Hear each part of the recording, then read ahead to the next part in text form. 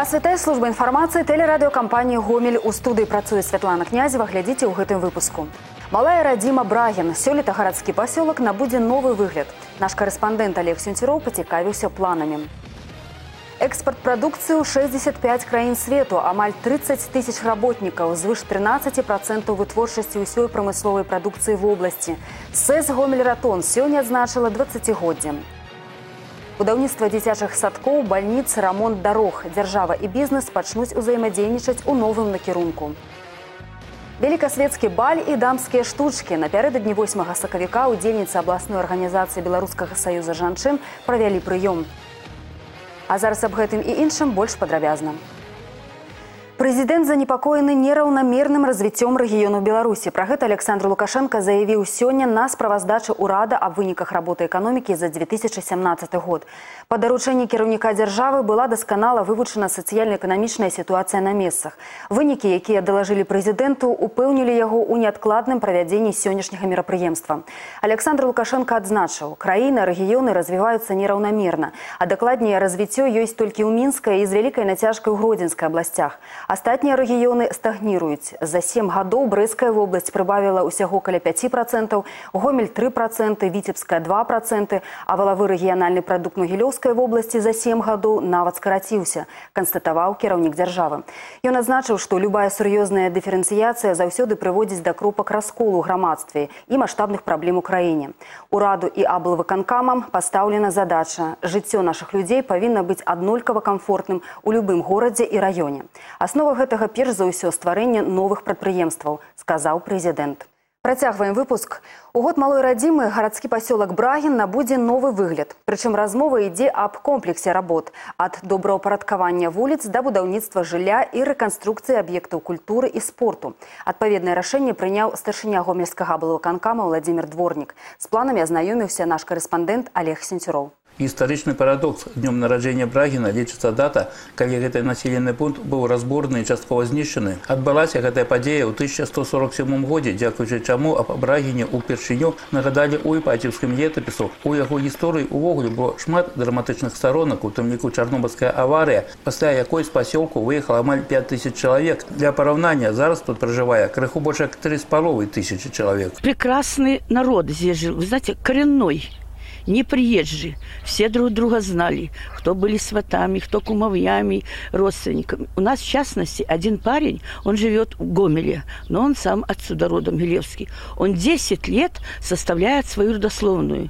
И вот мы с ним держим связь, и он говорил, уже полбрагина, полбрагина, он нашел родственников своих. Представляете? У пасля чарнобыльской истории Брагина был период, когда его планировали полностью оселить, а все будинки поховать. По этой причине протяглый час тут не проводили праводзілі ніякіх работ ні па будаўніцтве новых аб'ектаў, ні па развіцці існуючай інфраструктуры. Сітуацыя пачала змяняцца толькі ў сярэдзіне двухтысячных, але полностью привести гарадскі пасёлак у належны стан оказалася зусім няпросто. Запланирована реконструкция станции без железа, установка новых фильтрующих элементов, где качество воды будет улучшено. Также модернизация котельной, где будет современное оборудование установлено, и изменение схемы теплоснабжения. Будет работать одна котельная, городской поселок Брайан. То есть выводится с эксплуатации одна котельная, экономия средств. Канчаткова планы по проведению Брагина в порядок еще не затверджены. По некоторых объектах могут уноситься коррективы, але в целом решение принятое. Сёлета городский поселок изменится кардинально. Як чекается масштабная работа, тут почнутся недзе праз месяц. На стадионе, например, зробить штучное покрытие, а центральную площадь переутворить у пешеходную. Районный дом культуры зачинить на капитал капітальны рамонт у будынку не праводзілася ніякіх работ амаль 50 гадоў яшчэ одна задача запланаваных пераўтварэнняў вырашэння жыллёвай праблемы сёлета ў брагінскім раёне плануецца пабудаваць 6 тысяч квадратных метраў жылля для параўнання гэта ўтрая больше чым было летась такім чынам будзе практычна вырашана праблема забеспячэння жыллём шматдзетных сем'яў дзяцей сірот і маладых спецыялістаў зараз у раёне іх застаецца 70 процентаў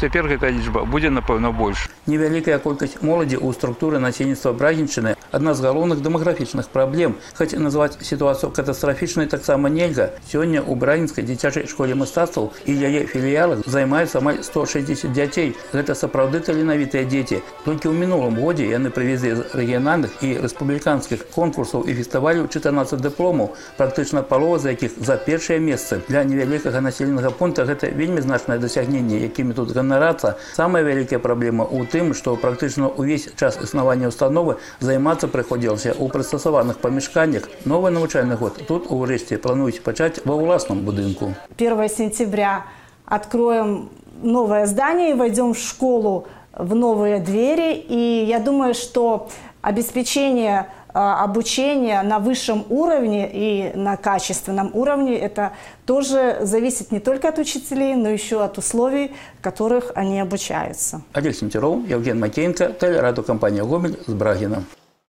Экспорт прадукцыі ў 65 краін свету, амаль 30 тысяч работнікаў, звыш 13% вытворчасці ўсёй прамысловай прадукцыі ў вобласці. Свабодная эканамічная зона Гомель-Ратон сёння адзначыла 20годдзе. Яна самая маштабная ў Беларусі. Вытворчасці рэзідэнтаў СЭС размешчаны ў 11 раёнах Гомельскай вобласці. Летась, дзякуючы іх дзеянню, было прыцягнута звыш 230 мільёнаў долараў інвестыцый. Амаль палова з іх замежныя. Найбуйнейшымі пастушчыкамі апошніх сталі Делкам-40, Алкапак, Мультипак, Фрэшпак, Солюшенс, Светлагорскі завод зварачных электродаў, Гідрасіла Беларусь. У мінулым годзе было зарэгістравана сем новых арганізацый. Гэта другі паказчык у Беларусі пасля мінска. Створана звыш тысячы новых працоўных месцаў. Вялікая і разнабаковыя планы вызначаны і на гэты год. Находится на рассмотрении уже в Совете министров Республики Беларусь об изменении границ свободной экономической зоны. Качество участков, где можно размещать новых резидентов, оно улучшится. Это хорошие участки появятся новые в Жлобине, в Речице, и в Светлогорске. Здесь мы в Гомеле рассматривали, в Гомельском районе, и наши резиденты, которым мало места уже, тому же Делком-40, мы тоже дополнительно там они рассматривают участок Веза Г, дополнительный участок для расширения своих границ. Рэалізаваць інфраструктурныя праекты дзякуючы дзяржаўна-прыватнаму партнёрству. Новую для беларускай эканомікі тэму абмеркавалі сёння на семінары ў гомельскім аблваканкаме. Сярод арганізатараў супрацоўнікі нацыянальнага агенцтва інвестыцыі і прыватызацыі, міністэрства эканомікі і еўрапейскага банка рэканструкцыі і развіцця. Мэта сустрэчы атрымаць зваротную сувязь у выглядзе канкрэтных прапаноў. Падрабязнасці ў Марыны Джалай. У Российской Федерации краінах Евросоюза дзяржаўна-прыватнае партнёрства мае шматгадовы вопыт. Наша краіна робіць першыя крокі ў гэтым накірунку. Сутнасць у тым, што прыватная кампанія па заказе дзяржавы рэалізуе сацыяльна важны праект за свае сродкі. І 20 гадоў яго абслугоўвае. На працягу гэтага часу дзяржава выплочвае кампаніі выдаткаваныя грошы і вызначаную загадзя суму прыбытку. Прыклад такога ўзаемадзеяння пілотны праект па рэканструкцыі трасы М10, якая у тым ліку Реку пролягая и про Гомельскую область. Схема финансирования достаточно комфортная для частного инвестора. Это фактически в определенной степени платежи за строительство выкупные. И в этом плане, конечно, здесь нет тех рисков, которые на частный инвестор могли бы распределяться. И в этой связи вероятность его успеха вполне очевидна. И я уверен, после того, как конкурс будет объявлен, интерес стороны инвесторов как иностранных, так и местных консорциум будет очень высокий. У планах таким чынам будаваць, напрыклад, дзіцячыя садкі, больницы, ремонтовать объекты. Яскравый прыклад – система жылёво-коммунальной господарки. Предположим, я пока не утверждаю, у государства нет денег на то, чтобы отремонтировать эту систему, поддерживать ее в нормальном состоянии. Мы находим э, частного партнера, который берется и говорит, да, я, значит, вот значит, берусь заниматься этими вещами, там трубы, котельные, прочее, прочее. Я их привожу в порядок, и в течение 20 лет я их обслуживаю. Мы ему возвращаем ту часть, которую он затратил, и какую-то, значит, прибыль, которая закладывается в договоре государственного частного партнерства. Шляхом дзяржаўна-прыватнага партнёрства плануецца будаваць, рамантаваць і абслугоўваць аб'екты, якія маюць першараднае значэнне для жыхароў Беларусі. Галоўнае зараз зацікавіць у такім спосабе інвесціравання прадстаўнікоў дзелавых колаў. Марына Джалая, Валерий Гапанько, телерадиокомпания «Гомель». У Беларусі працягваецца правядзенне суботніх тэлефонных ліній мясцовых уладаў. 3 сакавіка звароты грамадзян будзе прымаць кіраўнік спраў гомельскага аблвыканкама Алена Владимировна Клічкоўская. Нумар тэлефона 33 12 37. У гомельскім гарвыканкаме прамую лінію правядзе намеснік старшыні Сергей Яўгенавіч Андрэеў. Звяртацца трэба па нумары 75 63 33. Прамыя лініі будуць працаваць з 9 до 12 гадзін. Першае міліцэйскае падраздзяленне з сельскагаспадарчым ухілам. Кіраўнік міністэрства ўнутраных спраў Ігар Шуневіч наведаў сельгаспрадпрыемства Хутар Агра, размешчанае ў Светлагорскім раёне. Тут працаўладкаваныя былыя асуджаныя, а таксама прымусова адпраўленыя на рэадаптацыю ў лячэбна-працоўнай прафілакторый. Нагадаем, у снежні мінулага года згодна з пастановай Саўміна прадпрыемства перайшло ў рэспубліканскую ўласнасць для наступнай перадачы ў падпарадкаванне дэпартаменту выканання пакаранняў. За это время мы подготовили всю нормативно-правовую базу по передаче этого хозяйства в э, Министерство внутренних дел. Теперь это наше подразделение – я называю его первое милицейское подразделение с сельскохозяйственным уклоном. Э, но если серьезно, то мы начали уже работу, и э, сегодня здесь трудоустроены э, порядка 30 человек, находящихся в ЛТП и освободившихся Э, это небольшое количество, безусловно, но мы будем его увеличивать. И в планах э, строительства здесь специального общежития для э, лиц, которые освободятся и захотят работать на этом предприятии. Игорь Шуневич подкрэсліў, што магчыма ў далейшым такія прадпрыемствы будуць стварацца і ў іншых рэгіёнах краіны. Адкласці на некалькі гадзін адказныя справаздачы, рабочыя сустрэчы, узяць перадышку ад дамашніх клопатаў. Напярэдадні 8 сакавіка удзельніцы абласной арганізацыі беларускага саюза жанчын правялі прыём для самых актыўных і мэтанакіраваных жанчын гомеля. Сапраўдны салон для великасветскіх дам арганізавалі ў карцінай галерэі Гаўрыла Вашчанкі. Запрашэнне на свята атрымала і наш карэспандэнт Наталя Капрыленко.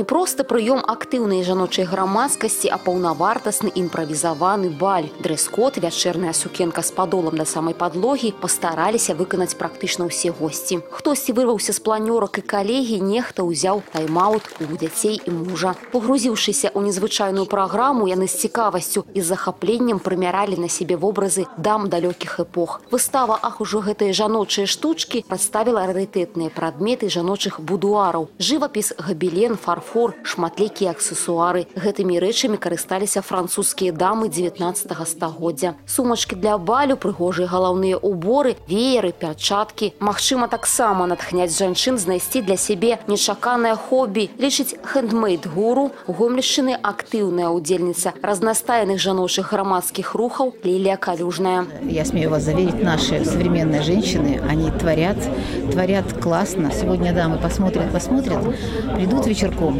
и возьмут, наверное, что-то, вот какие-то перчаточки свои, подумают точно, у меня же вот, вот где-то бабушкины есть, вот они же вот такие. Вот если к ним что-нибудь еще приделать, что-то такое современное или как-то их под, подретушировать, то очень даже классно можно будет одеть куда-то на какое-то мероприятие.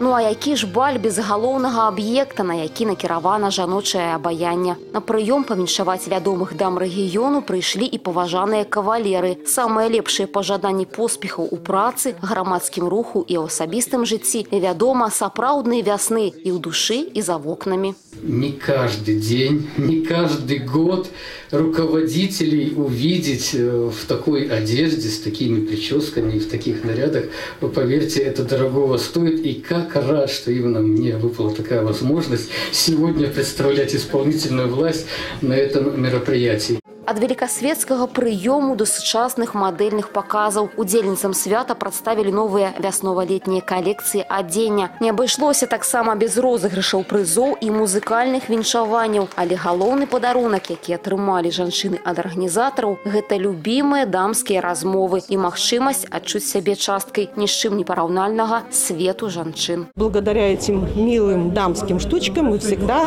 вот такие красивые, интересные. Посмотрите, какие у нас красивые красивые дамы. Все, кто это организовывал, просто низкий поклон. И действительно, да, это место, где э, женщины вспоминают о том, что они женщины, и э, находят время, чтобы встретиться, чтобы вспомнить о том, что наконец пришла весна. Наталья Капрыленко, Валерий Гапанько, телерадиокомпания «Гомель». На завтра ў гомельскай вобласці аб'яўлена штармавое папярэджанне. Уначы і раніцай у рэгіёне прагназуюць моцны снег і завіруху. Магчымы ўзнікненне снежных заносаў на дарогах і наліпанне мокрага снегу. У нядзелю падобны характар надвор'я захаваецца. МНС раіць не адпраўляцца ў далёкія паездкі на ўласным транспарце. Гэтыя і іншыя навіны вы можете знайсці на нашым сайце ў інтэрнэце па адрасе трайное w.tvrгомель.бай. На гэтым выпуск завершаны ўсяго добрага і да сустрэчы ў эфіры. Эфир телеканала «Беларусь-4» продолжает де-факто в студии Алексей Немкевич. Здравствуйте. Не терпелось. В исправительной колонии номер 20 в Мозыре предотвратили побег заключенного. До выхода на свободу мужчине оставалось всего несколько месяцев. Беглеца с зимней курткой в руках заметил часовой с наблюдательной вышки. Тот уже приблизился к предупредительному ограждению. На крики «Стой назад!» мужчина не отреагировал. Ему даже удалось перелезть на внутреннюю запретную зону. Остановил Остановил заключенного звук предупредительного выстрела вверх. По команде часового несостоявшийся беглец лег на землю и положил руки за голову. Прибывший войсковой наряд задержал нарушителя. Сейчас в обстоятельствах произошедшего разбирается следственная оперативная группа. На протяжении года буфетчица одного из мозырских предприятий незаметно выносила продукты питания и сигареты. Когда недостача обнаружилась, общая сумма незаконно присвоенного превысила 10 тысяч рублей. В крупной растрате растрате подозревается 38-летняя жительница Калинковичей. Будучи должностным лицом, э, на подотчете которого находились материальные ценности, в период с 2016 по 2017 годы совершила растрату веренного ей имущества на сумму более 10 тысяч белорусских рублей. Следствию предстоит выяснить, почему столь долгий срок женщине удавалось бесплатно затовариваться на собственном рабочем месте. Нанесенный ущерб буфетчица полностью возместила. Сейчас возбуждено уголовное дело по статье «Присвоение и растрата». Санкция статьи за совершение указанного преступления предусматривает лишение свободы от 2 до 7 лет с конфискацией имущества, с лишением права занимать определенные должности и заниматься определенной деятельностью. И немного о ситуации на дорогах. На утро 2 марта по всей территории Гомельской области было зарегистрировано 59 дорожно-транспортных происшествий. В основном это мелкие ДТП. Сотрудники госавтоинспекции обращаются ко всем участникам дорожного движения быть предельно внимательными во время сложных погодных условий. Водителям соблюдать скоростные режимы и дистанцию до впереди идущие машины. Пешеходам аккуратно переходить проезжую часть в местах, нерегулируемых светофором, только по так называемой зебре последний день календарной зимы сотрудники госавтоинспекции Гомельского РОВД оказали помощь водителю грузового автомобиля, у которого замерзло топливо. Нашли в близлежащем населенном пункте керосиновую грелку, отогрели, пожелали счастливой дороги, и водитель уехал. Таков обзор криминальных новостей к этому часу. Берегите себя и своих близких. Я, Алексей Немкевич, благодарю за внимание. До встречи в эфире. Эфир телеканала «Беларусь-4 Гомель» продолжают новости спорта. В студии Михаил Садовский. Здравствуйте. Оба представителя нашего региона стартовали с поражения в плей-офф чемпионата Беларуси по хоккею в экстралиге. Жлобинский «Металлург» крупно проиграл Солигорскому «Шахтеру» на его льду 1-7. Соперник Гомеля по 1-4 финала «Динамо Молодечно». Начинали серию рыси на домашнем льду. К пятой минуте первого периода гости обеспечили себе преимущество в две шайбы. Отличились Кирющенков и Грецкий. Еще до перерыва хозяева отставание сократили. На последней минуте Мусиенко, воспользовавшись ошибкой соперника в средней зоне, отправился в практически булитный забег, который завершил точный бросок 1-2. На старте третьего периода Дурнов к радости местной торсиды дальним броском в большинстве сравнял цифры на табло. Спустя 9 минут хозяева снова оказались в роли догоняющих. Гаврус в окружении четырех гомельчан сумел бросить поворотом Бабарика. Шайба рикошетом от голкипера заползла в ворота. Бросив все силы на то, чтобы сравнять счет, рыси пропустили еще раз. Окончательный счет матча установил Ремезов. 4-2 победа «Динамо». В других четвертьфиналах Неман и Юность уверенно одолели «Химик» и «Лиду» соответственно 7-2 и 4-0. Вторые поединки серии проходят сегодня. На паркете Гомельского дворца игровых видов спорта проходят поединки третьего тура розыгрыша женской гандбольной Балтийской лиги. Первый игровой день открыли очным поединком Гомель и Львовская Галычанка. В первом тайме борьба получилась вязкой. Явного преимущества не было ни у одной из дружин. Однако хозяйкам паркета к истечению первого получаса игры все-таки удалось создать небольшой отрыв – 10-8. Первые минуты второго тайма остались за командой Томажа Чатера. Строгая игра в обороне и старания Валентины Кумпель на последнем рубеже, как итог, к седьмой минуте Гомель вел плюс 7. До финальной сирены такой комфортный отрыв удержать не удалось. Ближе к концовке Галычанка прибавила и к 26-й минуте приблизилась Гомелю на расстояние трех точных бросков. Нервные концовки хозяйкам паркета удалось избежать. Реализовав свои моменты, Гомель победил 26-21. Хорошая игра, хороший соперник, э, опытный соперник. Э, играет очень хороший гандбол, агрессивная защита, поэтому сначала была немножко проблема. Что касается состава, который играл очень довольный в защите, э, есть чуть-чуть, которых нюанс, который надо лучше сделать в нападении. На моменты хорошие, на моменты недостаточных э, бросков и, и шагов, э, как э, работаем на тренировке. А так, в принципе, доволен. В воскресенье 4 марта Гомелю вновь предстоит поединок с Галычанкой. До этого команда Томажа Чатера дважды сыграет с литовским Жальгирисом в рамках Балтийской лиги и с Городничанкой в рамках чемпионата страны. А уже 10 марта Гомель матчем с главным конкурентом БНТУ «БелАЗ» подведет черту под первым этапом внутреннего первенства. Игра состоится в Гомеле. В Минске состоялись открытые соревнования по спортивной гимнастике на призы олимпийских чемпионов. Гомельские спортсмены среди призеров турнира. Денис Санувонг в состязаниях мужчин выиграл три золотые медали в многоборье, вольных упражнениях и в упражнениях на перекладине. Также в активе гомельчанина серебро в упражнениях на коне и на брусьях, а также бронза в упражнениях на кольцах. Еще один воспитанник гомельской издюшор номер 4 Кирилл Терещенко добыл бронзу в упражнениях на перекладине гладине. Наши юниоры также с наградами. Павел Якубов второй в упражнениях на коне, а также третий в многоборье и опорном прыжке. Вадим Скобов с бронзой в упражнениях на коне. У девушек отличилась Дарья Ячменева, бронза в упражнениях на бревне. На этом пока все. С новостями спорта вас знакомил Михаил Садовский. Оставайтесь на Беларусь 4.